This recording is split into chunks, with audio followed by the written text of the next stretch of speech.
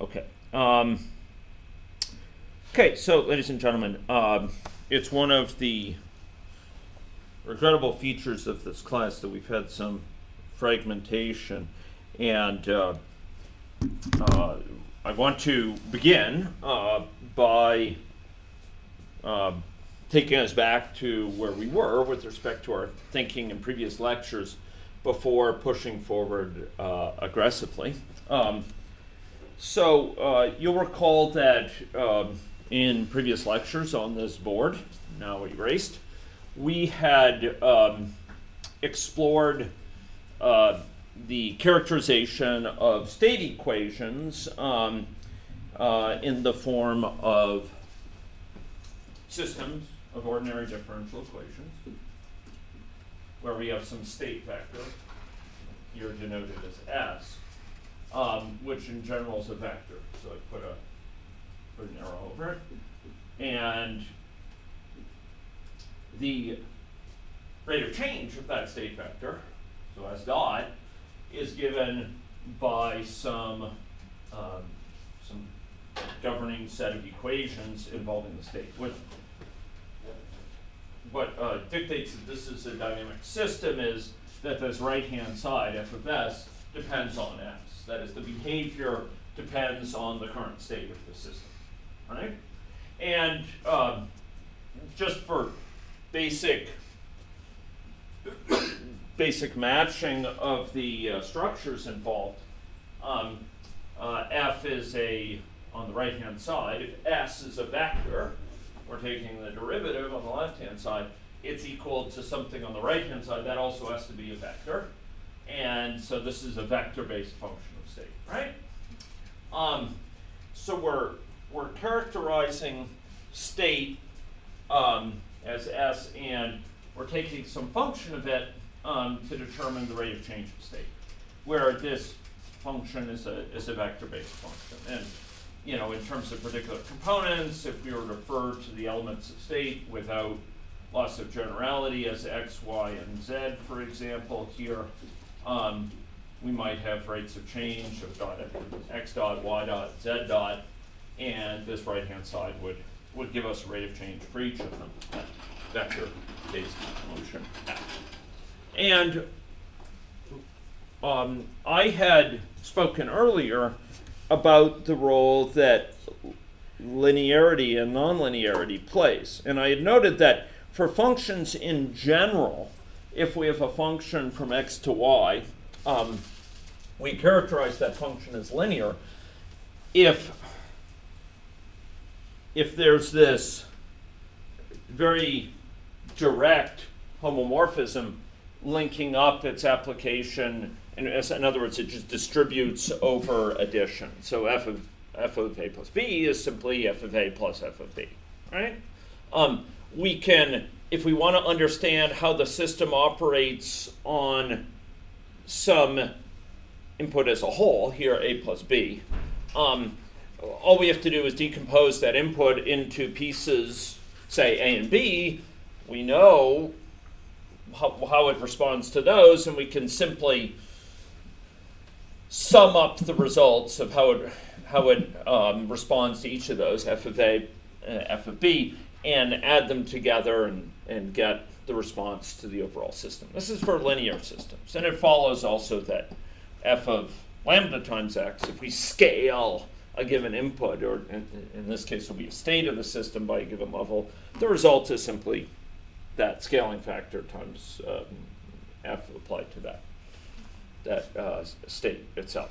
Okay, um, and, uh, and on this board we have previously gone through some examples, for example, with, with 2x showing that it's, uh, it, it uh, adheres to, it's true to these properties of linearity. But we had also introduced some nonlinear functions, like f of x squared, where it violates these properties, right? Um, so, uh, for example, if we had uh, f of x, if we considered, you know, x equals three, right? Um, we can't uh, just decompose that uh, into, uh, to get the answer, we can't decompose it into uh, f of 1 plus, you know, 2, and get f of 1 plus f of 2 as the result, right? Um, f of x for x equals 3 gives us 9, x squared. By contrast, if we tried to take it apart into its pieces, 1 plus 2, and we considered f of 1, well, f of 1 is 1 squared, or 1, and we took the other piece, 2, and we considered f of 2, it's 2 squared, or 4. We add them together, we get 5. That's a very different answer than 9, f of, f of 3, right? Um, so this is a nonlinear function. It violates these rules. Um, and in general, when we have these uh, systems of, of uh, uh, differential equations or ODEs, but it's more general than that. It's really where we have a dynamical system. Um, we can also characterize uh, at some level how it changes as a function of state. And this is very different for each of the three traditions we've looked at in more depth, right? For system dynamics, we have the state equation format shown on the board or shown here, where we're dealing with the derivatives. For agent-based modeling, we have these hazard rates and timeouts, which basically specify collectively how the system changes, how quickly or, or um, how uh, um, in what ways it's changing based as a current function of state. And so it is for discrete event simulation because we have queues of people waiting for certain resources or queues of other entities, etc. Right? Um, and the same basic principles apply from function that apply to functions being linear or not that that adjudicate whether a function is linear or not carry over to these dynamical systems where this f, this vector-based function of of S is on the, the right-hand side, okay? And there's a lot of arrows here, but, but basically it's the same rules just applied to the right-hand sides associated with this, uh, uh, with the evolution of the system, okay? Okay, now, um, an important thing to note here that students sometimes get confused about is when we say a system is nonlinear, dynamical system, we're talking about nonlinear in its state, not in, with respect to its parameters. It's not, it's not that, you know, its evolution depends on the square of this parameter or something like that. It's with respect to state. And if we have this as our state vector, here, x, say x, y, z, suppose we dealing with a 3D system, right? Or a system that's at least nominally 3D. So we have a state vector x, y, and z, then these square terms, uh, for example, um, terms involving nonlinear terms, if we consider the, the sort of minimum uh, term there, it involve things like x squared, y squared, z squared, but also things like what? Give me another example that might be a higher order, nonlinear combination of, of this state, well, xy or yz, right? Mm-hmm. And xz, right? Yeah. So, so in general, we can have nonlinear terms involving these, and um, and uh, for nonlinear systems, we're going to have this property that I've emphasized before, but is really going to start to play a very important role in our reasoning as we transition to systems data science about the whole and the pieces. I mean, for linear functions, what we've seen is that we can, um, by the definition of, of a linear function, we can reason about its behavior with respect to the whole. That's the sigma here. This, this whole that is composed of pieces we can reason about how it behaves with respect to the whole by simply reasoning about how it behaves with respect to each of the pieces and summing it up. It's just, it's nothing more than the sum of its parts. Hmm? And importantly, it's nothing less either, um, as we'll see. And that's, that's an important fact. Um, we can't you know, reduce the dimensionality in some way because of the coupling, because coupling is simply an artifact of how we're describing the system. So here, um, for a linear system, a whole is, is simply the sum of, of the parts. And within this context, in the context of these linear dynamical systems, um, they can be, as we saw last time, they can be naturally described, even if they are phrased initially in a way that it that seems coupled. That is, that the evolution of one variable depends on another. Um, on the, so the evolution of one element of state, say x, depends not only on x but on y. Um, okay, I, I, I, if I had planned ahead, I should have had one of those pictures that we saw where, you know, for instance, the perception related first order feedback where we have delays in perception, right? And and you have this state state variables which are the actual situation, the perceived situation, and the evolution of the actual situation is affected by the actual situation and by my perception of it because I might try to steer the steering wheel based on my perception of where I am in the road in a way that uh, uh, you know materially affects the the current state of the system. So so nominally we may have a system that's that's linear frame, phrased to us in a way that's coupled, but what we saw last time is that through um, a simple change in how we choose to describe the system, a change involving our the coordinate system which we describe it, or the the labels by which we describe it. Um, we can actually turn it to a, render it into a system that's decoupled, where one thing doesn't depend on another. It just um, each element of system evolves as a solitude away from the others in a way that it doesn't have to know about the others, no information is transferred between them. They just each evolve in their natural way, independent of all the others. Okay? Um, so the capacity to do this for a, a dynamical system um, was rooted in the fact that um, for a linear system, if we consider the rate of change of s as a function of s uh, for, a, for a very specific case of a linear system, um, uh, which is which characterizes many systems that we look at at just one point of time or just one point of state space around a certain around a certain equilibrium point. Um, uh, you can characterize it as, as some matrix times S, where the matrix is the Jacobian. Okay, it's the Jacobian matrix of F, you know, with respect to this F. So it's, you know, the, the, the first row of it is the component of F that determines the first element of S, right? X. Um, and and we're, we're asking, how does that, how quickly does that change as we go in different directions, S? You know, we go in the X direction, we go in the Y direction, we go in the Z direction. All of them are derivatives with respect to f sub x, uh, the, the, how it's changing in the x direction. Um, uh, and these are the rates of change there, and we're simply taking their dot product with s. Remember that? Okay.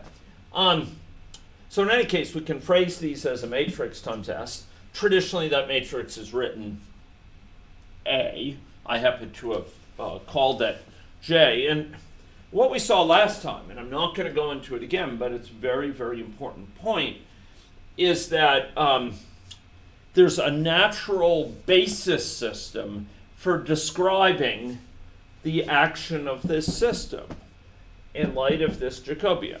And that natural basis makes use of what as its basis vectors? Anyone remember? It's the eigenvectors of this matrix. Those are the natural um, uh, the, the, sort of the natural coordinate system for describing the action of this matrix. Natural in the sense that they allow you to characterize the action of the matrix in a particularly simple way. And what is that simple way? Well, the simple way is it is it simply stretches or you know kind of pulls I don't know what you call it compresses um, simply you know pushes out or stretch pulls in stretches in or stretches out um, uh, certain these these different eigenvectors and each one we don't have to worry about the others. If, if we just worry about how it handles this one and handles that one handles that one we can describe the behavior of the whole thing in short it allows us to diagonalize this matrix, okay? Um, and, uh, and that was shown previously, but the, the, the diagonal matrix, can anyone pick it out here? Where, where is it? Um, where is it denoted? It's lambda. It's this capital lambda, right? Um, uh, so, so this capital lambda is the diagonal matrix corresponding to this one. And we can re-describe in its natural coordinate system this matrix J, traditionally written A, uh, uh, but we can, well, just in general, we write things as, as, as A when we decompose this way, but this is the very specific Jacobian matrix, so I'm writing it as J. Um, but we can characterize J um, alternatively, as in the basis of eigenvectors, by saying, look, if we have a vector x or vector s, a, a state vector, multiplying s times s minus uh, to, to, s inverse, what does that do? If I have a if I have a matrix S in the in the um, in the sort of nominal characterization of state. S, x plus y, you know, x, y, and z, say. If I multiply that by S inverse, so I have S inverse S, what does that give me? That, where, by the way, it's capital S inverse times lowercase s, right? I, I should be hissed out of the room probably, but um, uh, hissed out of the room. Um, so what does S inverse S give us? What does S inverse, what does it do? What's, what is S inverse doing? If I apply it to a state vector S, what is it doing?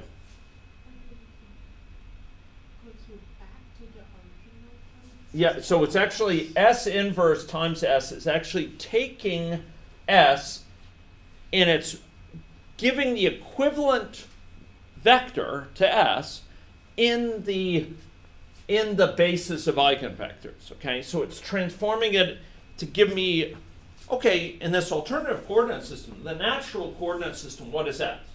And then, having been phrased in that natural coordinate system, this S inverse S, then all we have to do, if we know our vector in that natural coordinate system, the action of the Jacobian matrix is simply stretching in or pushing out along each of the eigenvectors. So all we have to do is multiply by this, by this diagonal matrix. And some entries of the diagonal matrix would be less than 1, like you know, 0.5 or something like that. And it'll, it'll pull in, uh, pull into that. Um, and some will be greater than 1 or 2, and it will push out along that lines. Now, I'm actually glossing over things because the truth is this is a dynamical system. We're reasoning about this in dynamical systems. So actually, the operative concern here is at less than zero or above zero. Because if it's less than zero, what will be happening is it'll be sucking in over time. It'll be like having a negative exponent.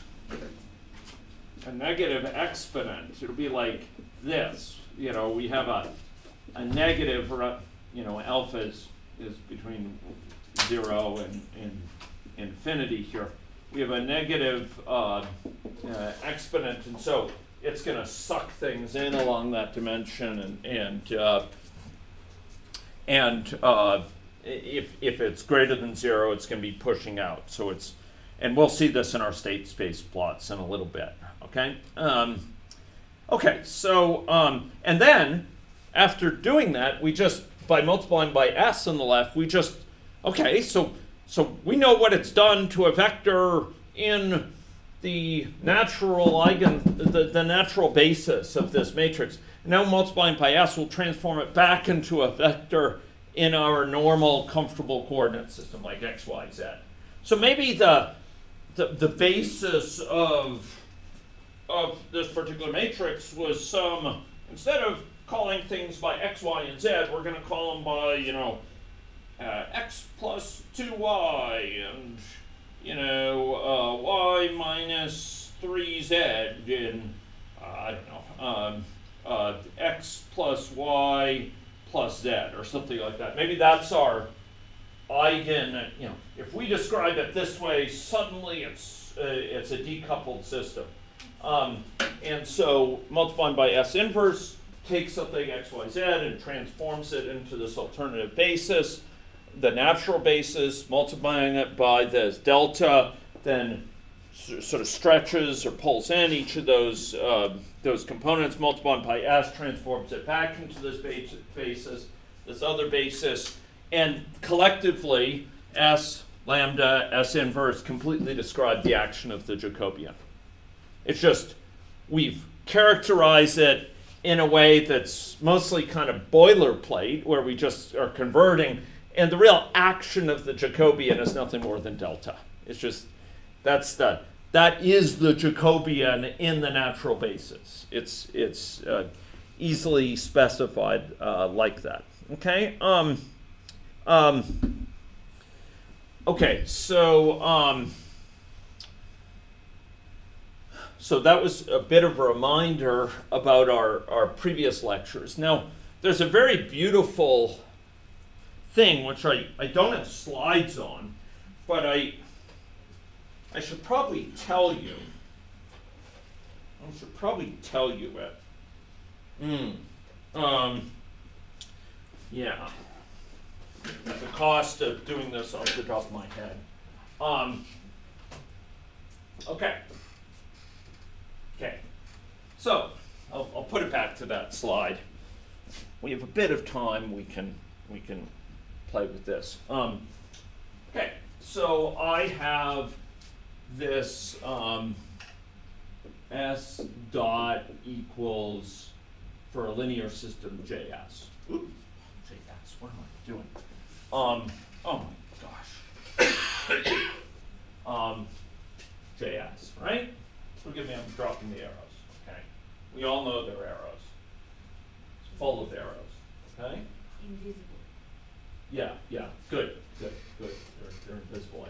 Um, okay, so ladies and gentlemen, um, uh, okay, so if we have that, um, I'm going to draw an analogy to a system that's only involving a single uh, a, a, single uh, a single element of the state vector. Okay, so I'm going to write it in a scalar term as let's say x equals ax, but here x is just uh, one number, just just one number, hmm? and a is just a single number. Okay? It has to be. It's not going to be a, it's going to be a, a one by one matrix. So I'm going to write it as this. X and, sorry, x dot equals alpha x, right? Remember that? Okay, what, what's the solution to that? If I, if I, if I solve that over time, let's write it out in, in greater detail, right? Um, so this is just, when I write x dot, what am I really writing? well, dx dt, right? This is kind of, I think, the Leibnizian, and this is the Newtonian way of writing it. Um, very sad thing. Those two had like a terrible ego fight. like, who invented calculus first? And and it turned into like a national fight. Like the Germans um, had believed that Leibniz. Um, it was actually pre-Germany, as, as Paul would know. Um, but uh, but you know they, they believe Leibniz had originated it first, and Newton believed that he the English believed Newton did. Um, but they basically evolved at essentially the same time and probably in the same intellectual milieu. I think Leibniz made that a bit earlier um, in the end, but but the English got like all huffy, and they ended up doing something very silly they ended up like I think partly out of pride and pique, they disconnected from a, a lot of their development of mathematics, fueled by this resentment and animosity. They, they basically said, we can do our own mathematics, thank you very much. Um, and they kind of took their ball and went home from Europe. I, will leave un, unsaid certain, certain resemblance to even the present day. And they, they took their ball and went home. And, um, and so they ended up developing mathematics that was sort of stunted compared to the development on the continent. And you know, the, the continent had these unbelievably good mathematicians, uh, you know, Euler and Gauss, uh, many from Germany, but also many from France, you know, Pascal and Fermat and, and et cetera, a whole, whole series of unbelievable ones. And English mathematics ended up being stunted and, and sort of contorted because of it. A bit like the English language, some might argue, but um, anyway. Um, okay, so so here we have dx dt equals lambda x, right? How do I solve that? In, in classical, if this were math 116, how would you solve that? Or if this were undergraduate mathematics? Well, the classic way of solving it is, what do you do? Okay, I mean, the, the sort of way that's phrased most commonly is you divide in both sides, you, you do something like this equals uh, alpha dg, you integrate both sides, and and what's what's this on the right hand side? It's the integral of a of a constant. It's like it's the area under a curve where the curve is constant. So what is it? Yeah, it's it's alpha t, and then there's some constant in front, right? There, there's some some constant uh, that because uh, you know it, the derivative of alpha t is, is alpha, it's true. But, but c plus alpha t for an arbitrary number um, is also uh, the derivative of that. It goes into the null space. It's sort of mapped to zero. So, so it's c plus alpha t for some constant. And what's the derivative, what's the integral on the right hand side here? Yeah, it's log of x. And I'll, I'll write it here just just in case it would help, it's one integral of 1 over x dx. Maybe, maybe if I write it that way, it would be more obvious, right? Um, and it turns out it's natural log of, of x, okay? Plus some constant, but I can subtract it from the one, right? Mumble. Okay, um, we okay with that? And, oh, okay, mumble. Um, yeah, um, okay, so, so what can I do now? um, I could just take x, right? Right? Take the exponent on both sides. So what do I get if I take the exponent on the left hand side? What do I get? X. And what do I get on the right hand side? Yeah, e to the c plus alpha t. And what does this turn into here? It's, well, it's, how can I factor that? It's e to the c times e to the alpha t. Remember that? um, which, you know, with this e to the c, I mean, it's just it's just another constant. This is like e to the 2.3 or something, or e to the 0, right? And it's just another constant. Call it d, okay? I never liked using d for that, but, but so it will be, okay? Um, so, and, and in general, we could re-express this as, let's not call it d, let's just call it the value of x at time 0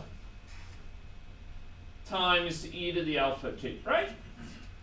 And so that's what, and actually I should really write, if I'm going to be, this is,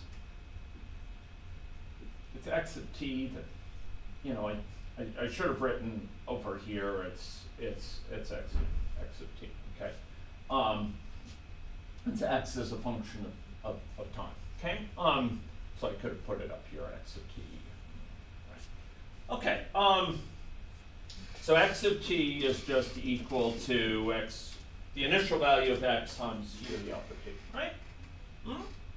Makes sense, right? Because if we have an exponential, we take its derivative, what do we get out? We have an exponential, like e to the alpha t, and we take its derivative, what do we get? Take d of that thing dt, what do we get? Alpha times it, right? Take the derivative of e to the alpha t, you get alpha times e to the alpha t. You get the same thing back. Hmm? Just scaled. Does that remind you of something? Does that remind you of something? There are certain things in the world, ladies and gentlemen, where if you apply an operator to them, you get the same thing back, just scaled. And one of the things we talked about was eigenvector. So it turns out that exponentials are eigenvectors of the derivative operator in Hilbert space.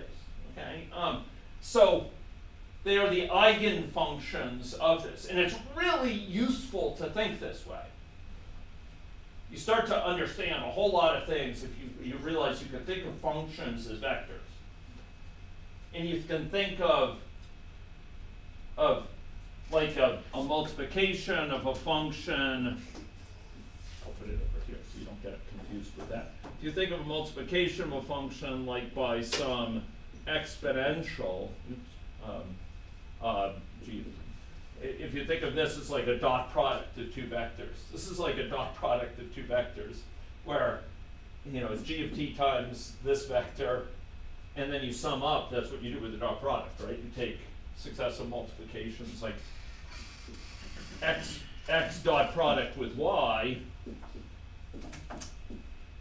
is simply the sum sum that corresponds to the integral, right?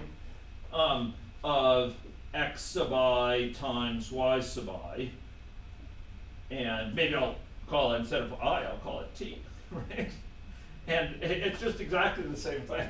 This is matrix multiplication just in this special infinite dimensional vector thing, okay? Uh, I remember being impressed by that as an MIT freshman um, uh, by Giancarlo Rota. Um, Anyway, um, so, ladies and gentlemen, here we have x of t equals x0 times e to the alpha t, right? That's the solution to this x equals alpha x. Well, guess what? Guess what? It turns out that this thing on the left, does that look similar? Just look like the same thing. So I'm going to write the solution, ladies and gentlemen to this thing on the left, just drawing on that, okay? I'm going to write the solution. And you're going to probably protest, but I'm okay with that. Okay? Is that okay? Okay. Um, by the way, they say Einstein's, what just, I've heard it said that what distinguished Einstein was not, not predominantly him as a physicist, but he was a very good applied mathematician. And one of the, the really interesting characteristics of applied mathematicians is they know how much they can abuse things without trouble. So they take liberties and they know, okay, I'm in safe territory. I, I know it's kind of abusing things a bit, but it, this, this will be fine. It's no problem. Whereas there are certain things you could do and you go off and you know, bad things happen. And so all I'm going to do is, is show you something that is a bit loose, but it actually works. Okay? So, I mean, it, it's, it's sound. Um, so I'm going to write this as s dot, I'm going to write dt. That's, that's pretty, pretty innocuous, right? Um, maybe I'll write it over here. DSDT, just the name for s dot equals that, right? Okay, I'm going to do the same trick, okay? So if I write ds over s, right, equals what's on the right? Yeah, j times dt, yeah, okay? And I take the integral of both sides, okay? Um, take the integral of both sides, okay? Um, and I'm going to get, over on the left-hand side, what am I going to get? Log, and I'm going to leave out the constant, just put it over on the right-hand side, okay? Um, And this is not a dot over the J. It's a, it's a, these are not the droids you were looking for. Um, it's, it's not a real dot. It wasn't an intended dot, okay? Um, uh, so this is uh, J of t plus um, some constant. And I'll call it D for, for, for that. Okay? Okay? Um, and then take the exponents of both sides. Okay? And, and like warning bells may be going off. Like I take the exponent to the left-hand side, and what do I get? S of t, yeah, yeah, S is a function of t equals. Uh, good, I'm to take the, the right-hand side, what do I get? Okay, okay. So e to the d, by the way, what is d here? d is a vector right? And it's, it's got to be a vector because this thing on the left is a vector. Um, plus, so e to the d plus jt, right? Okay? And this is just equal to, I'm going to call it a vector S0. That's the initial vector. The initial state vector. It's the initial state, right? This is the initial state of the system. Times e to the jx, okay? Yeah? Are we okay with that? Okay, now. JT. JT. There's no X. That, that would fail to compile in Math World. Um, okay. um, I'd like a math compiler. Actually, Mathematica is not bad in Okay.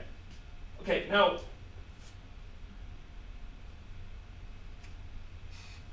some things to this may be familiar. S of t, any problems with that? That's a vector as a, as, as a function of time. Are we okay with that? Mm-hmm. This initial state vector, are we okay with that? How about this guy? Mumble, mumble, mumble mumble. Okay? Okay, so let's unpack it. This is where it gets really fun. This is where it gets really fun. Okay, um, can I can I erase this lower part? Um, no, there's a lot of information. sorry?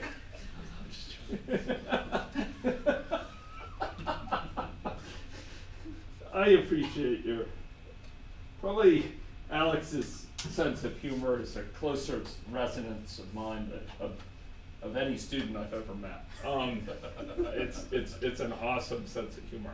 Um, okay. uh, okay. Uh, it's gonna keep me. Um, okay. Um, great. So, who remembers the definition of exponential? I wrote it, it was just about here for Taylor like two weeks. Sorry? Taylor. Taylor. Uh, uh, yeah, so e to the x equals what? Anyone remember?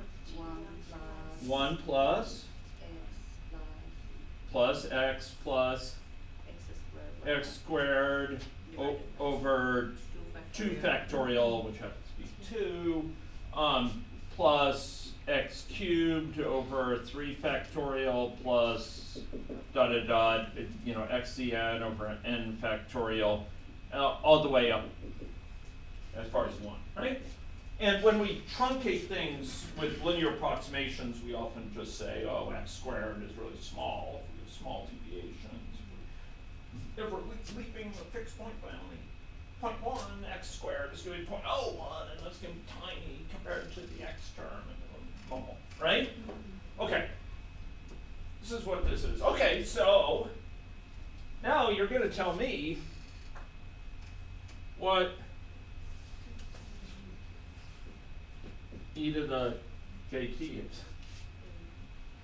1 plus jt, okay, plus, so this is a this is a, a matrix times a constant, okay? plus jt squared. Can we imagine squaring a matrix? Yeah? Yeah? Okay, over 2 factorial plus x cubed, so jt cubed over 3 factorial, right? Okay. Okay, right? And by the way, does something stick in your craw here? What what doesn't so we're adding a matrix plus a matrix plus a matrix. If the second term is a matrix. How about the first term? What does that need to be? I. It needs to be the identity matrix. So this is I, or you know, this matrix. It's a diagonal matrix with zeros almost everywhere, and then what on the diagonal? One. Okay. Okay, so you might look at that and say, yeah. Well, what about it? Okay. The best part is about to come. Okay? Because, ladies and gentlemen, J can be expressed as S lambda S minus 1, right? Uh Huh? Uh Huh? Okay, but we know, and I'm, I'm waving my hands about invertibility a little bit, but for, for, for most commonly this is the case for, for our systems. Uh, they don't have repeated diagonals, etc. So if we assume this, okay, okay, this sort of symmetry transform is, is a name for it that I've heard applied. These things occur like everywhere. If you're dealing with with with with linear algebra at a at a practical working level, these things are just like and, and understanding them intuitively what's going on is very valuable. Okay, so J equals F. Okay, can I write rewrite this? Okay, so so if we if this is J, we we have e to the s lambda s minus one t. Okay, equals i plus jt. So we substitute in s lambda s minus one t, right? So a t here right? Huh? Okay. Um, plus s lambda s minus 1 t squared, right? Remember, t is just a just a it's a scalar, right? Plus s lambda s minus 1, oh, sorry, this would be squared, right? Squared, yeah? It's, it's cubed, it's cubed, right? Um, over 3 factorial plus dot dot dot, right? Right? So, so it just, sorry. Sorry? Oh, t cubed, yeah. I'll, I'll write that. T squared cubed. I'll just pull it out. Enough. Mm-hmm. You okay with that?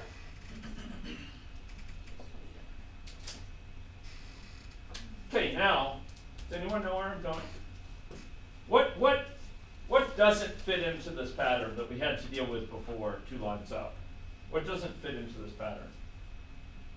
Of notice, notice everything this kind of boilerplate. S minus 1 on the right and S on the left, except one thing. What's that one thing? I. I. Huh? But we could actually write I as yes, as I as inverse. Right? Right? I mean I times S inverse is just S inverse.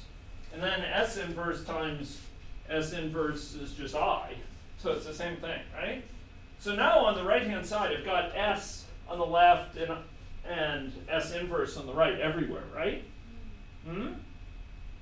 Hmm?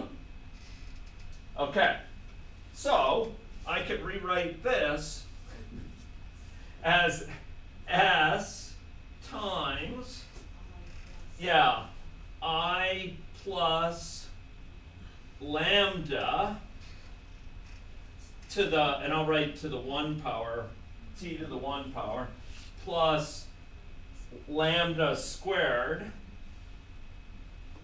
Uh, um, times t squared over 2 factorial plus lambda cubed times t cubed over 3 factorial plus da da da da da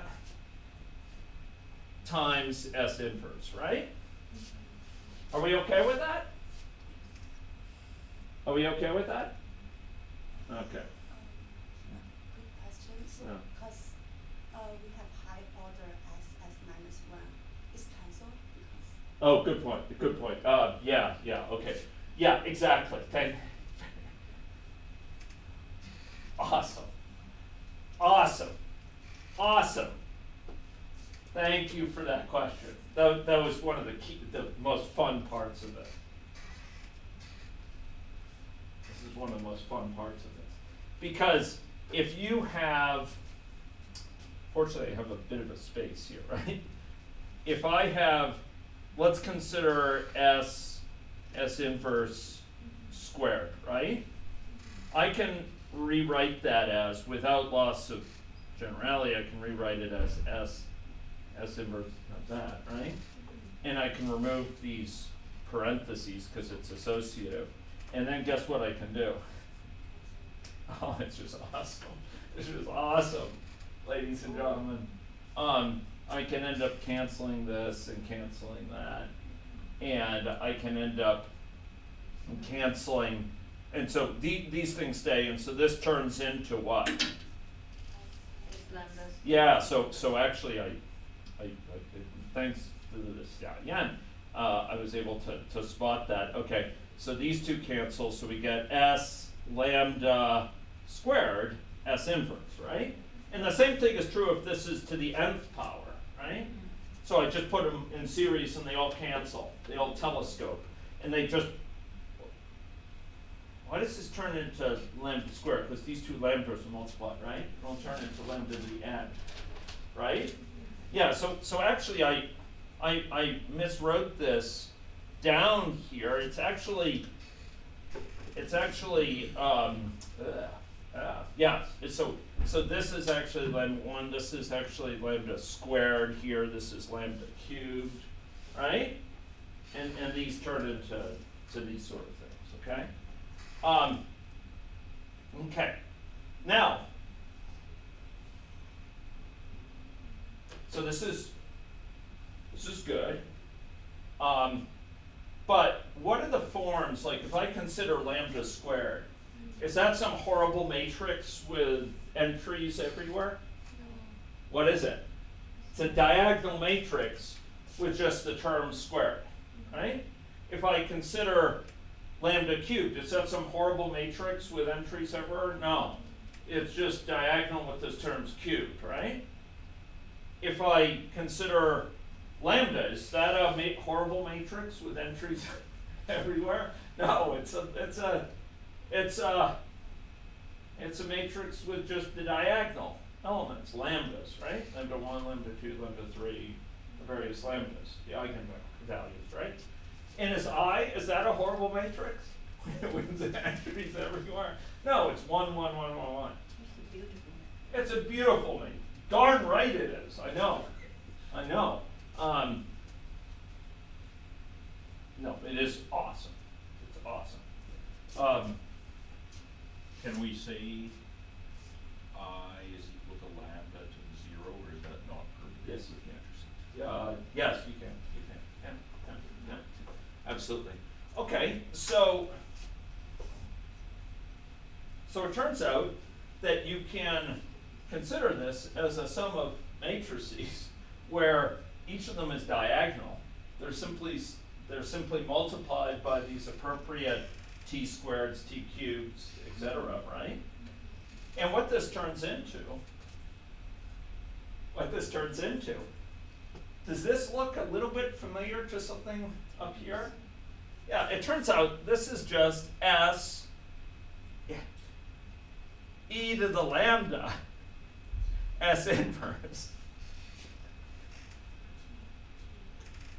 oh, LT. Thank you. S lambda t. Yeah. Sorry, that's really good. Okay, and guess what this turns into? This just turns into S, and it's a matrix like this, this s e to the lambda t is just a matrix with lambda 1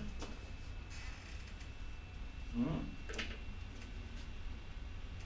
lambda 1 no i'll put it. T it's just the eigenvalue matrix.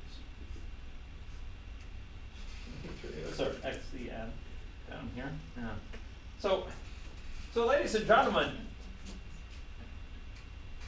this whole thing turns in to to be oh sorry sorry I have to be careful. This is e to the lambda 1 e to the lambda 2 e to the e to the lambda n right? T t t probably doing it on the fly. Okay t. Right? There's your t. Um okay. Nothing like a good cup of tea. Um okay. Ready? So does this remind you of something? Yeah, it's just it's just uh, mumble. Uh, just this thing.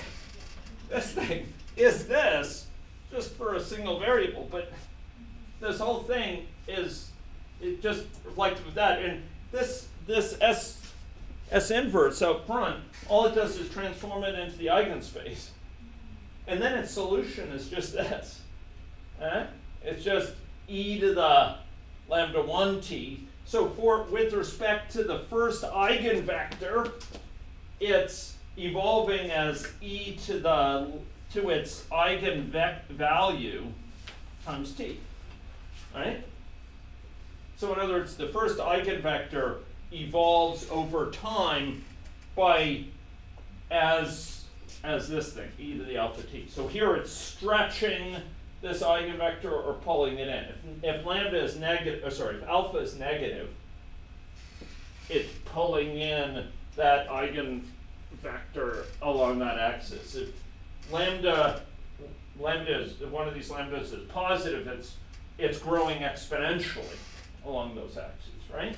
Remember this? I mean this if if lambda is greater than zero, oh sorry, alpha is greater than zero, well, forgive me. Um, uh, uh, forgive me. I'm going to change this to lambda, just just so the the analogy is is clearer to you, right?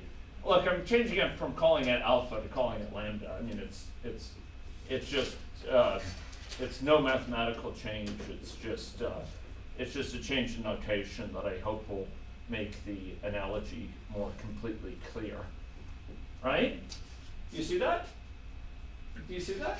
And so if, if lambda is greater than zero, it'll grow exponentially over time.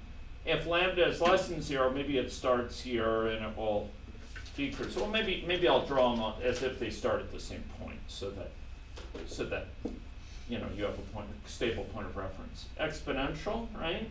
Um, exponential growth if lambda is greater than zero. And if lambda is less than zero, it'll decay towards zero, right? lambda less than zero, right? If lambda equals zero, what's it gonna do? Just stay the same, right? Uh, it'll just be stable, lambda equals zero. That's the steady state solution. When it goes to, okay. So that's all this is. So what this is saying is that, look, if you have a, why is there another dot there? Oh, no, it is, that, that dot belongs there. It- because it was on the right-hand side, but I, I put that, okay, I put it, make it a big dot. Okay? Um, so ladies and gentlemen, if you have a single variable system, you can solve it as the initial state of the system times e to the lambda t. Right? If you have a linear multivariate system, but it's linear in those, so you have s dot equal js, through diagonalization, even if the system is nominally coupled at its start, you know, x depends on not only its own state, but the state of y and the state of z, or what have you, right? Like this. Um, if, like, like if, if that's how it is in, in the, the way the system is stated, if you end up converting that if you end up finding the natural coordinate system for that system with this matrix of, uh, of, of, by considering the eigenvectors whoa, of the system, um, right? Um, then we can actually use precisely the same mathematics to solve the system. And we basically see that the system evolves with each mode of the system, each eigen, if we describe the system in terms of its natural coordinate system, its natural eigenvectors, we see each of those, we call them modes of the system, evolving independently of the others. These are all zeros here.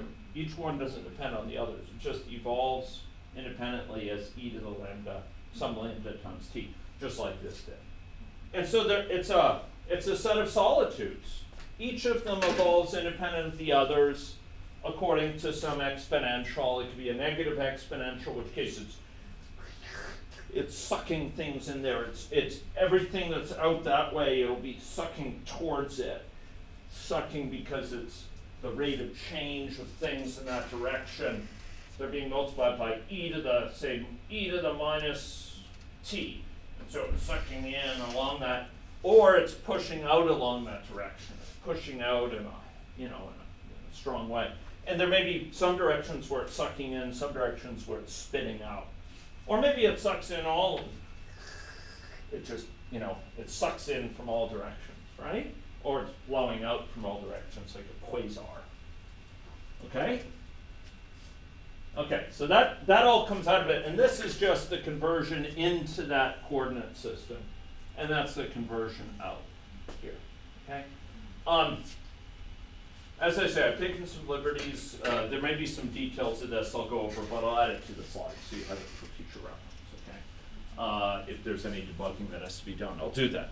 But that's the basic deal. Is any system that's linear, we can actually use this basic mathematics to characterize it as a decoupled system. We don't need to be dealing with a coupled system if it's a linear system. We can always recharacterize it in a fashion that's decoupled, or at least for, for vast broad classes of system, to a system that's decoupled and that evolves according to this. Okay? Now, I'm going to build on this fact to go to look at some particular systems here. But we always can take a linear system, view it from a very particular perspective, its natural perspective, its eigen perspective, its own perspective, uh, hence the eigen. And, and by so doing, we can describe it in a particularly simple, decoupled means of considering its evolution. And we don't have to worry about, for evolving each aspect of state, we don't have to worry about the, the, the values of the other aspects of state. Right? Each one doesn't have to worry about the others. Um, okay, so so that's that was uh, a little bit of a of a comment there. Let's see how it applies to. Oh, I, I do want to emphasize one thing though that will become increasingly key for the coming lectures. Here, this transformation, where we diagonalized according to S. If we consider taking j equals s lambda s minus 1, I would emphasize that the number that, if we consider the number of elements of the s vector, it turns out that our natural basis, our natural way of describing the system is in terms of vectors that have that same number of elements. Okay? So we're transforming from something that's maybe described in X, Y, Z. Forgive me, my, my, my born slang came out there. Um, X, Y, Z. Um, we're transforming it into a vector in this alternative coordinate system. But the, the number of elements here, these are both in R3. They're, they're, they're, the, the vectors involve three real numbers. we're not saving at all um, how, how many state variables we need to describe the system. It's still describing in terms of the same number of state variables, even though it's a simpler description. Each of those state variables evolves independently, right? So this system is not naturally coupled. It's just coupled from a certain set of perspectives. But from its natural perspective, it can be characterized in a totally decoupled way. Okay? Um, and the whole is nothing more or less than the sum of the parts. Okay? Um, okay, now, for a nonlinear system, um, the situation is, is, is totally different. Okay? Um, and most of the systems we deal with within our sphere of activity of our labs, these these are nonlinear in character. Um, so uh, you know, a, a classic case, of course, of this is you can't describe an infectious disease transmission system effectively as a linear system because what are what are two elements of state that have to interact uh, within such a system? Well, look, there's going to be no infections if you have, no matter how many susceptibles you, you have, there's going to be no infections unless you have what? Infectives, right? So it's, it's not possible to describe susceptibles without considering infectives as well. But if we consider the rate of change of infectives, how many people are like coming into it from a susceptible state due to new infections, there's going to be no chance of doing that unless we also take into account susceptibles, right? So there's actually, it, it, for nonlinear systems, it'll be not possible to decouple the way. And, and what you'll see in these nonlinear systems is very commonly these terms that are based on things like s times i, right? That's a nonlinear term. It's not like 2 times s, the number of susceptibles, or, you know, 2s plus 3y or something like that. It's s times i. That's not a linear function of state, right? Okay. So, we're going to be dealing with these um, with these nonlinear systems. And uh, with nonlinear systems, we're not going to be able to reason about the behavior of the system as a whole by summing up information about the behavior of its pieces. Um, the Jacobian here is going to vary. It's, we, we can't just compute the Jacobian and have it be a constant matrix. The Jacobian will vary with system state.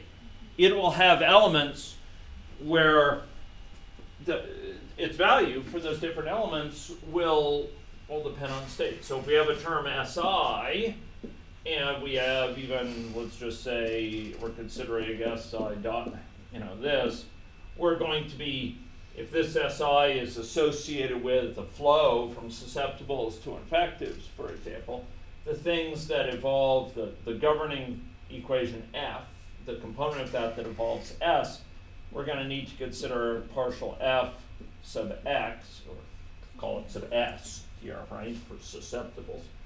Um, by the way, here I'm using S for susceptibles. There I used it for more general state. Partial S, uh, partial S, and partial F sub S, partial I, right? Um, this partial, if we could, let's suppose this is, suppose F sub S, it's, it involves some minus you know, some some beta SI, right? Um, partial F sub S, partial S is going to be what? Yeah, it's going to be minus. So just just to illustrate this, it's going to be minus beta. You take this derivative with respect to s, particularly holding i constant, it's minus bi, right? Um, and f sub s with respect to i, it's going to be minus bs, right? And and this these entries depend on state. This is not these are not numbers, just numbers in general. It's it's going to depend on state. And so the value of the Jacobian will be different in different areas of state space. If S is different and I is different, it'll be different, the Jacobian, right?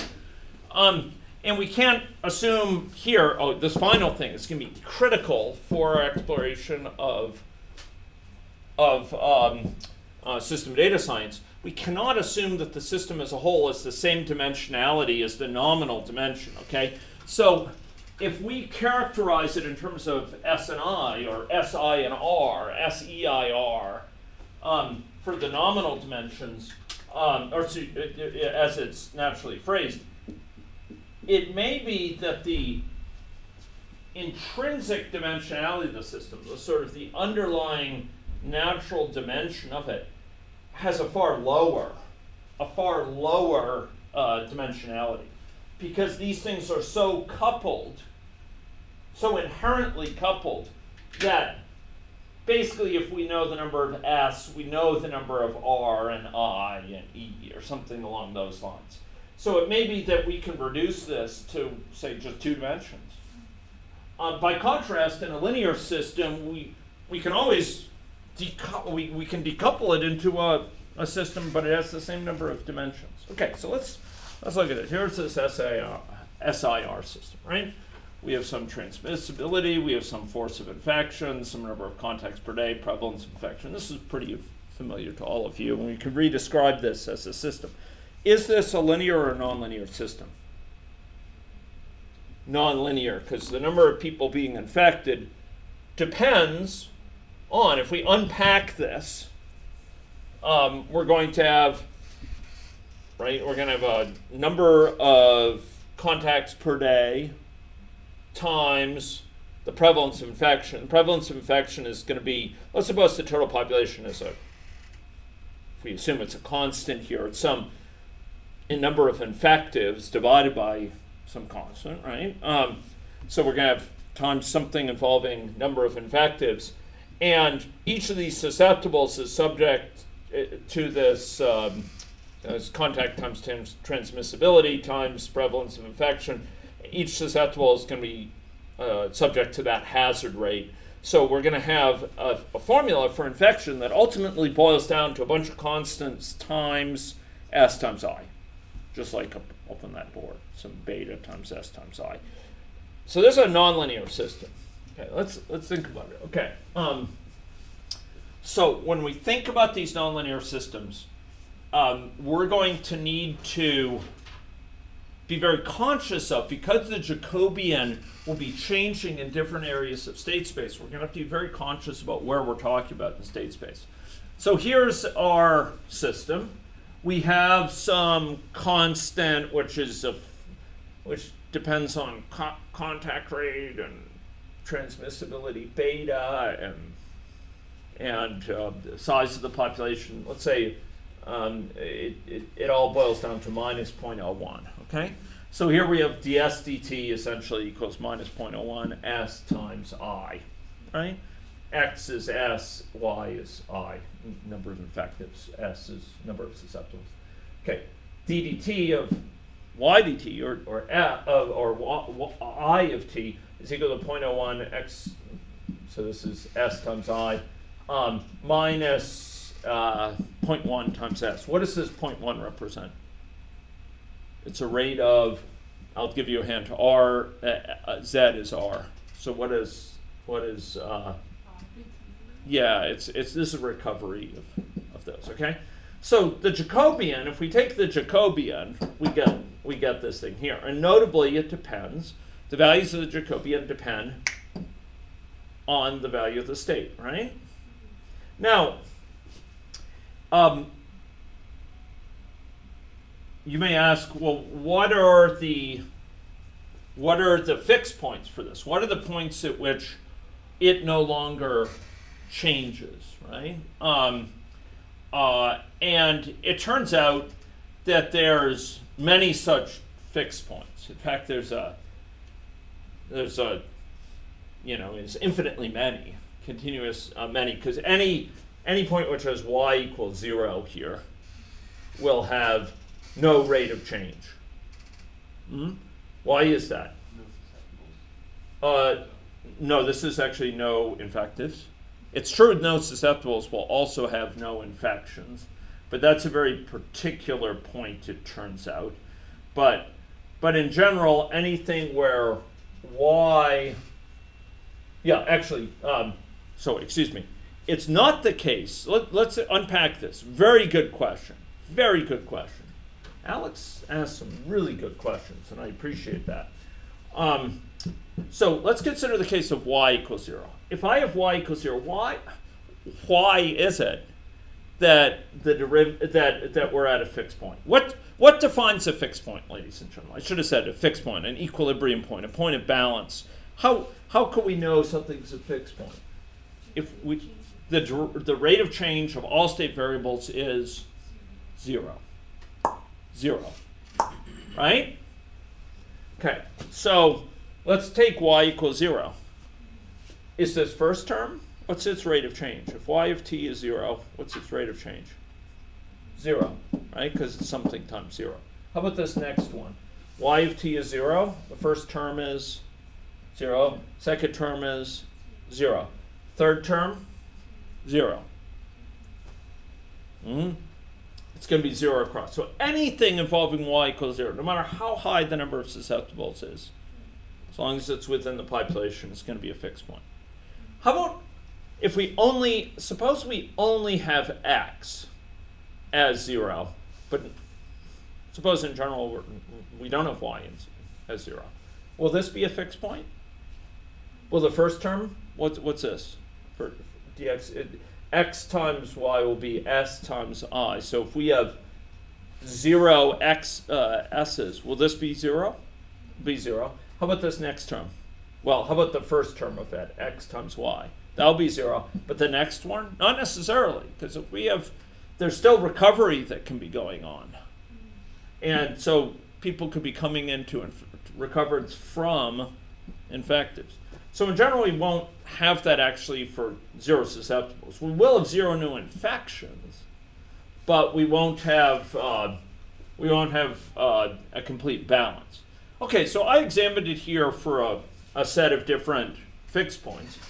Uh, because we have infinitely many to choose from, continuously infinitely many, I, I, I picked sort of three. For the naive equilibrium where everyone is susceptible, no one is infected, no one is recovered, this is the Jacobian. Okay? Now, if we take the eigenvalues of that, these eigenvalues, these lambdas here, the first two are zero, but the third is 9.9. What is that telling us? Yeah, it's going to be, is this going to be growing or shrinking? Growing. It's unstable. It's going to be rapidly growing. It's e to the 9.9 times t. But it's going to be growing out along a certain vector.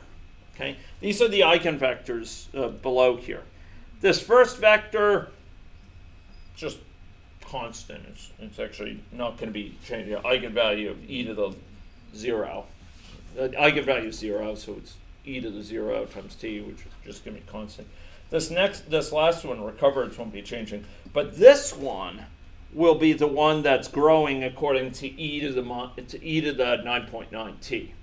So it's going to be what is it going to be um, uh, doing here? Okay, uh, along those dimensions, um, uh, it's going to be sort of stretching it, uh, stretching it out in certain dimensions and uh, and and pulling it in in in others. Okay, um, excuse me. No, no, no. It's just it's it's actually growing along in the. Okay, I have to be very careful here. I have to be very careful. I said this is the eigenvectors. Fair enough. And the eigenvalues of this, so it grows as e to the the lambda the lambda t according to this but only around this this fixed point, ladies and gentlemen. This is not a linear system. I can't say that everywhere in state space it's going to be growing according to this. I can only say in the immediate vicinity of this disease-free equilibria, um, we're going to be having a a rate of change associated with this uh, that's going to vary in a certain way. Okay, and and here, and this is okay. I, I uh, that's that's very interesting. Okay, I need to think about that a bit. So that's for the naive equilibrium. For the half recovered equilibrium, so here we have half recovered. That changes the eigenvectors, um, and we're going to and the eigenvalues, in fact. And here it's going to be pulling in along this uh, eigenvalue. It's going to be decreasing it along there. And this all recovered, um, it's going to be, uh, and that's that's interesting. It's going to be pulling in along one dimension. It's going to be growing. It looks like oh sorry, um, excuse me. For the eigenvalues, it's going to be increasing one of the um, uh, one of the uh, eigenvectors, but um, uh, but the the other two are going to stay the same. Um, I want to get to a slightly more interesting example to finish with here, so I'm going to go a little bit quickly here. I would just note that the state space associated with this is three dimensional, so it's a bit hard to to reason about. But fundamentally here, what's going to happen is um, uh, if we start with a state where it's essentially virtually all infective, or sorry, all susceptible, only one uh, infective and one recovered, what we're going to have is a, a decrease in the number of susceptibles, an increase in the number of infectives, and then slowly an increase in the number of, of, of uh, recovereds. So it's going to convert susceptibles to infectives and then to recovered individuals. And it's going to be pulled this way and pulled that way. Um, and if we project it down to like z times y or x times z or y times z, um, we'll be able to see this. So, for example, x times y, x is starting large. This is the number of susceptibles. It pulls it down as y increases here and and then they recover. And people are of course recovering all along, but towards the end, there's no one left to be left to be infected. So it's all basically um, recovered individuals. Okay. Um, now we could reduce this um, by recognizing. How could we simplify this? Anyone? How could we simplify this? What is constant here? What's invariant? Well, the total population. I alluded to it as a constant. So based on that, we could re-express recovereds as just what? Total population minus the number of susceptibles. That's misspelled. That's horrible. And minus the number of infectives. Um, okay. Um, uh, rest assured, if I find misspellings of susceptible in your models, it, I also misspell it sometimes. Um, so here, if we re-express it this way, then we have a 2D state space, and we can see this. This is the Jacobian here, um, and here we start with large number of susceptibles. The number of infectives rises, number of susceptibles falls, and then the number of, and then this both fall to zero because the rest go to what? Recovered. Okay. Let's, here's the SIRS system. This one's more interesting. This one's rather more interesting. What's the difference of this from the from the one we saw, the SIR? What else is going on? Waning of immunity. You have people going from recovered back to susceptible, and that makes all the difference. Now we have. Anyone want to guess how many fixed points? Two. One, can you characterize for them for me? What would be two points where the system's in balance? One is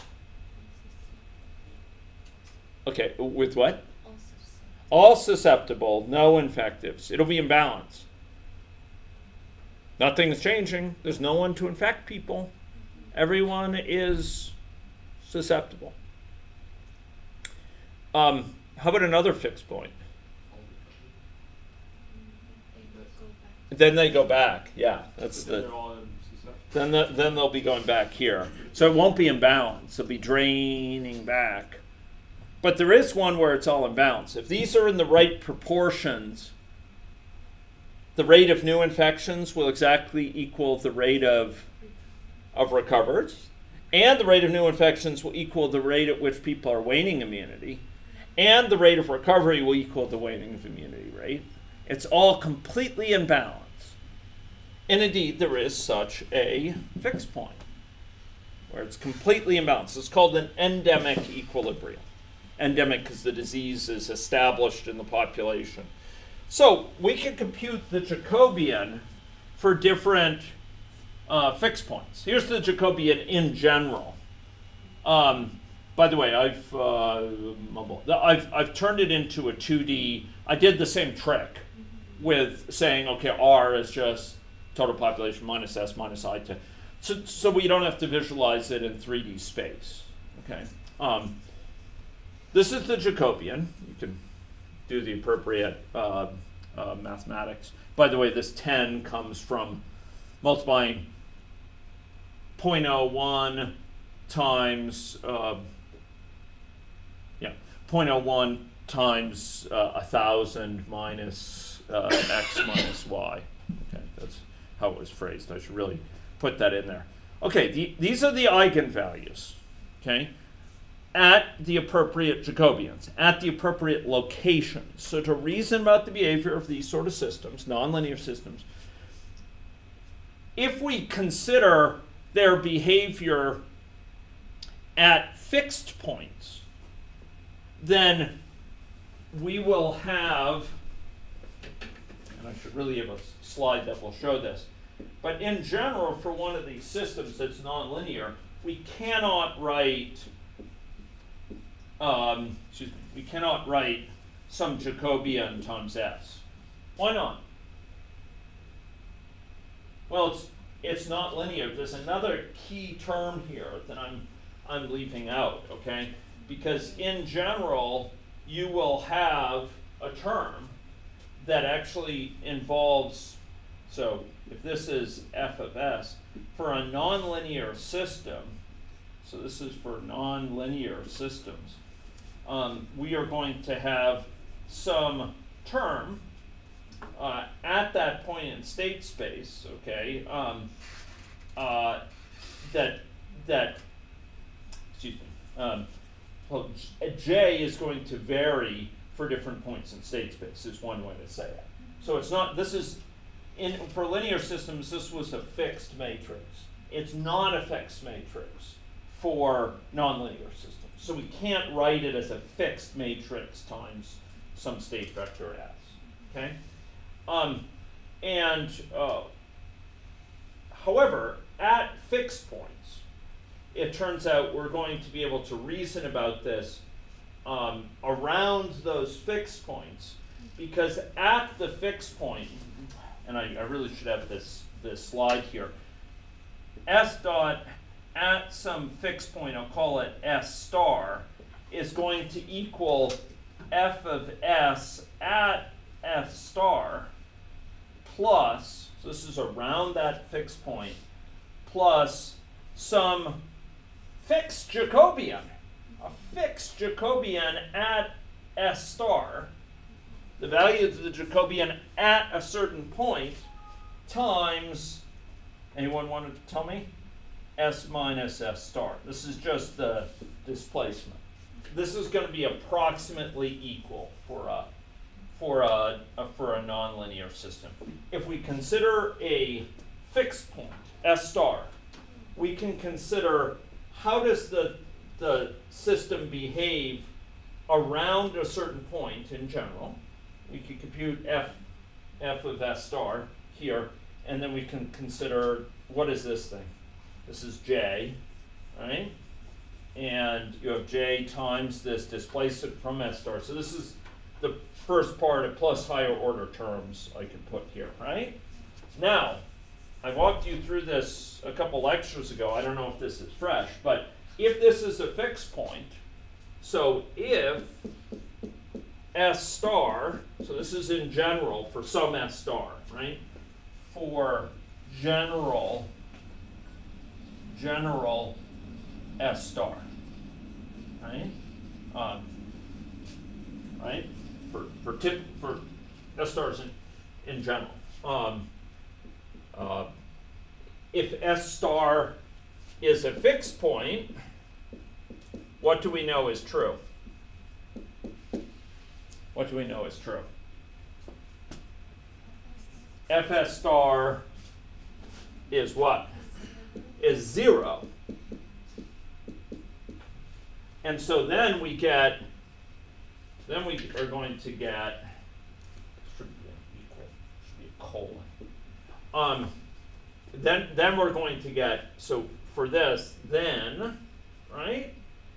S dot at S star equals, well, it's going to be 0 plus that. So it's going to be J of S star. So Jacobian at S star, at that fixed point,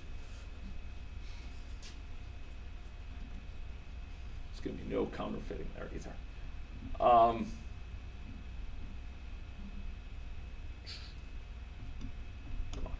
Okay. Um, times S minus S star. Okay? Um, it's going to be approximately equal to this, right in the vicinity of this. So we can figure out the, value of the Jacobian at a given fixed point, and if we consider displacements for that fixed point in a certain direction from that fixed point, we could ask, how does the Jacobian matrix handle those displacements? So these are no longer absolute vectors being multiplied by the Jacobian, like S. It's S minus S star. It's displacements from that fixed point. If we go in a certain direction from that fixed point, how does it change it? And and that's exactly what's uh, what's going on here. So we have these eigenvectors. So what this is telling us, ladies and gentlemen, in short, and I think we'll walk back on this uh, in further detail next time. But what this is telling us at, at the disease-free equilibrium, at the point where everyone is susceptible, no mm-hmm. one's infected, no one is recovered, is this system going to expand or contract? Is it going to be stable or unstable? It's unstable if it would multiply faster and faster in that vicinity. It's stable if it if it's just going to pull things towards it and and and not change faster and faster, but slower and slower. Well, this 9.9 indicates it's going to be e to the 9.9 t, which is going to be it's going to explosively grow in a certain direction. But uh, another eigenmode, it's going to be pulling towards it. Okay, and these are the associated eigenvectors. Okay, so this one one zero, it's going to be pulling smaller slowly.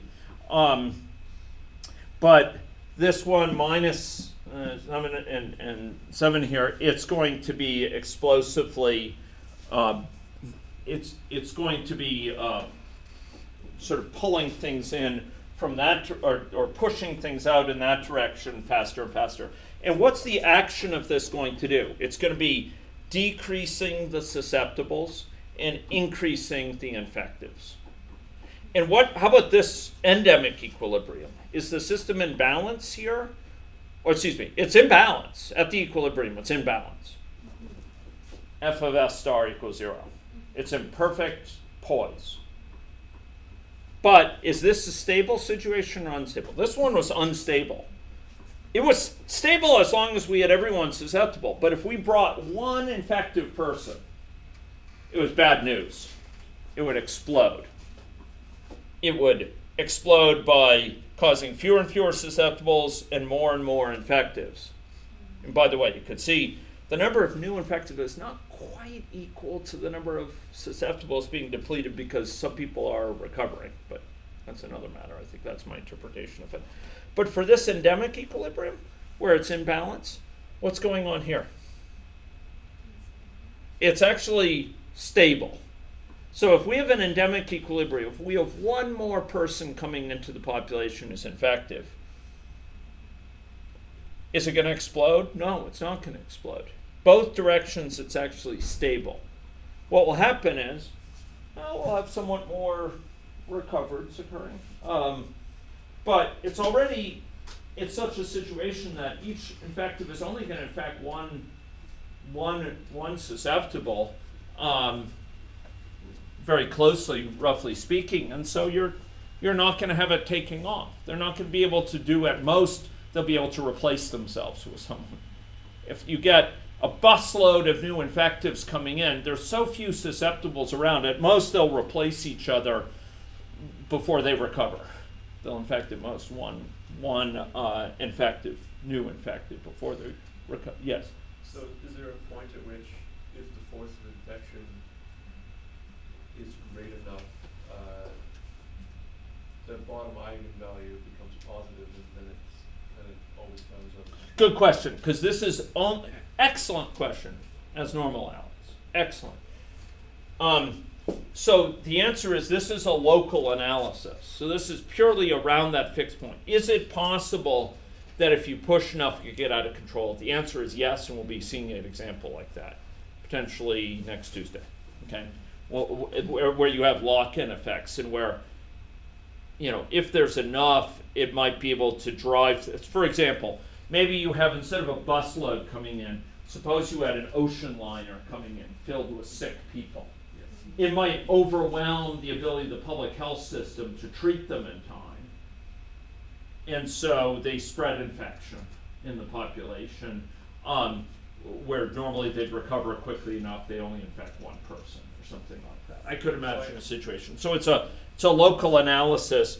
Here it's saying it's right around this point, it's stable. But you're right, if you push it too far, you may go into what's called another basin of attraction which basically you push it over a boundary where now you're dealing with a different fixed set of fixed points in a different situation. So that can happen. I, I meant more like the, the part of the equation for the force of infection that does not yet take into account the infectives. If that's like really high, if, if Hmm. Okay, we'd have to unpack that. Let's see if we could we could uh, take that offline or talk about it next time. So if you look about it, this is what's going on. Uh, for the if for the case of the disease-free equilibrium, what you have is it is growing. This is the actual. Uh, so the actual fixed point is this guy down here, and if you're here, and you get displaced even a little bit off of that, you will grow rapidly, right? It's just like it's like this, right? Um, stable. It's in a stable equilibrium. But it accelerates. If I push it a little bit off that stable equilibrium, it will accelerate away from it. That's what's going on here. This accelerates away from this. Given the excuse of one infective coming in, giving an infective coming in, it'll accelerate. It'll push along that eigenvalue, that eigenvector, with increasing, you know, amplify it, amplify it, e to the 9.9 t. This eigenvector, this eigenvector will be, it'll be, it'll be pushing. By the way, it's decrementing number of uh, susceptibles, and it's incrementing the number of, of infectives. The scaling is a bit different, so the, the angle is is a bit off from what you might think naively, but it's it's growing the number of infectives and it's shrinking the number of susceptibles. Right? Right around that point. Around that point. Okay, here is the endemic equilibrium. I actually started it at the upper part of this kind of blue thing and it sucked it down to this point here. Do you see that? So here it's actually sucking in from certain directions. You can see in the, the x and y, it's it's it's uh, it's sucking in here, and it's sucking in along this kind of skewed direction or or, or different direction. It's it's not 45 degrees or anything, but it's it's sort of uh, along these lines. Those are its kind of two natural lines. It's sucking in along this axis, and it's sucking in along this axis and those correspond to these um, to these eigenvectors here. Okay, um, so um, one of them is going. Um, it has this major axis associated with uh, uh, these two, the other is, is the reverse, uh, the reverse direction. So this one is all stable. It's just if there's a perturbation, if we sort of drive it out here, it'll suck back. If we drive it out here, it'll be sucked back. And these arrows right around this point whisper to us of the eigenvectors. Around that point, these are the natural coordinates. Sort of talking about these and these. Those are the ones where we can describe its action around that point in a decoupled way. But more broadly, we can't describe the system as a whole in a decoupled way. It's inherently tangled in a way that the whole is different than the sum of its parts. We can't take it apart into its pieces. Um, and all we can reason about is around equilibria, where f sub s of st- s star is zero, at the equilibrium where it's in balance, what does it do right around there? Right around there, it, it has this natural way of describing its action that's basically linear. But if we go outside of that, funky things start to happen. Like it starts to twist and, and churn, and you'll have different basins of attraction, etc.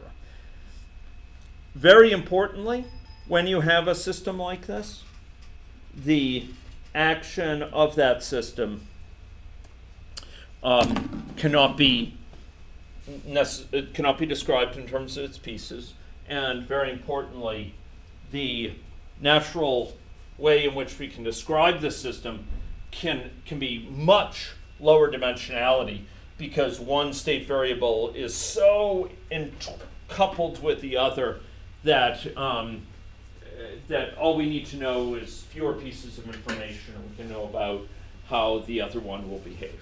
Okay, so that's all for today. I'll uh, come back and take this further next time. We will see a case with multiple basins of attraction and we will start to reason about uh, the cycles around these fixed points in a way that puts us in the situation to start reasoning about the dimensionality of the intrinsic system in the data science perspective. Okay? So- That's how, yeah. Yeah, so we, um, uh, see whether the, uh, this, this stable point is stable or not based on the Correct. Yeah, so, so basically, uh, great question, I should have said that. A given fixed point will be stable if all the eigenvalues at that fixed point are negative. And maybe zero, but uh, yeah, I guess you could say zero. Um, so, in other words, if it's sucking in there, a perturbation will be brought back to zero. It's kind of like in a first order delay um, you know, it'll be brought back to zero. If you add to a stock that has a first order delay associated with it as a flow out, depending on the value of the stock, if you add something to the value of the stock, it'll be brought back down to zero. It'll be drained back down. So if all the eigenvalues are negative, it's stable. No matter of the eigenvector, uh. No matter the eigenvectors. The eigenvectors are just the natural way of describing the action of the of that system of the Jacobian right around the the fixed point. And we'll, we'll try to emphasize this intuition next time. But the eigenvectors tell you if you go in certain directions around the fixed point, how does the the kind of system change as you go in those directions? So if I go up this way, for example, how does the system change? It tends to pull me exponentially this way. If I go this way, it tends to pull me in at a different rate of, of pulling. Yeah, so I feel if the eigenvector is one positive, one negative, then they will be. The eigenvector? um, No, the eigenvector, the eigenvector is as a whole being compressed over time or stretched over time according to this eigenvalue. You could make each eigenvector, you could flip its sign, and it's still going to be an eigenvector, right? If, Yeah. if, if it's an eigenvector of a matrix, Yeah. if, if, if E is an eigenvector of this matrix, so is minus E. Yeah.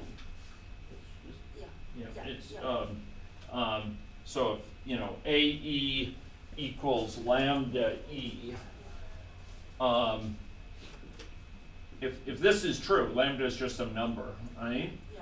Um, then it's true that a a times minus e is is simply lambda times minus e, right? Um, and, uh, and, and so it's, the, the sign of an eigenvector, and even its magnitude doesn't matter. If I scaled it, I mean, s- I'm sorry, one positive, one negative. yeah. Oh, okay. yeah, yeah. So it doesn't matter. Those are just the natural coordinate system, whether it's going. I mean, when, when you say it doesn't matter, what I'm saying is that's not the determining factor for whether it's stable or not. Whether it's stable is does it explosively grow? That's kind of the definition of stability is if we perturb it in this area, if we disturb it, we we take it it, we're in this point of balance, and then we disturb it slightly, does that disturbance restore itself or does it accelerate? You know, if it restores itself, if it brings, if a disturbance brings it back, that's like having a first order delay where we could add a thousand to it and it would just decay back down to zero. It would, it would be self restoring because if we added a thousand to the stock of a first order delay, you know, it'll drain faster and it'll be brought down to zero, right? Towards zero. Whereas if we have something where, you know, disturbing it in a certain direction, like a disease free equilibrium, where we have a small disturbance, like someone coming in, no one in our city has ever been exposed to measles or vaccinated against us. And we have someone with measles arrive at the Saskatoon airport, then we can get a rapid acceleration away from equilibrium because one person comes in, two people get it from them, maybe, maybe, you know, two people get it from each of them, so you get four to eight to 60, and I'm understating it because it's estimated it's ours, it's ours are not, it's, uh, it's uh, basic reproductive constant is like 16 or something. So maybe the first person gets, you know, gets 16 people sick. The next, each of those get, you know, another 16, so 256. You know, another, and then then it goes up to what 64,536 or something like that. Um, so you keep on multiplying, right? And so there, that's dictated purely by the eigenvalues. So, so in short, the eigenvalues give you this sense of stability. Now, it's all about the eigenvalues, but I will share with you that the analysis of what is the right matrix to use for the eigenvalues is a little bit subtle. It involves what's called the next generation matrix, which for these is really simple. But for systems that are more complicated, like where you might have several uh, exposed stocks or se- several infective stocks, etc., some are different than others, etc. Um, formulating a stability criteria is slightly more. It's it, it, it takes a bit more care, but you can still do it with what's called the next generation matrix. But but it's all about the eigenvalues there too. It's just the eigenvalues of what matrix. Uh, The eigenvalues here are are can just be be read out. So this one on the left, fix uh, the disease-free equilibrium is unstable. This one on the right, it's stable. It's stable because it's it's just like that first order delay. It's pulling in. It's it's it's it's causing less and less difference along those each of those appropriate eigenvectors. On the one on the right, it's pulling in along one eigen uh, eigen uh, uh, direction, and it's uh, it's amplifying along another. And by the way, you could see it. I don't know if you could see it, but there's arrows down here. It's sort of pulling in along these directions, the x direction. It, th- so the arrows are going this way here, going this way.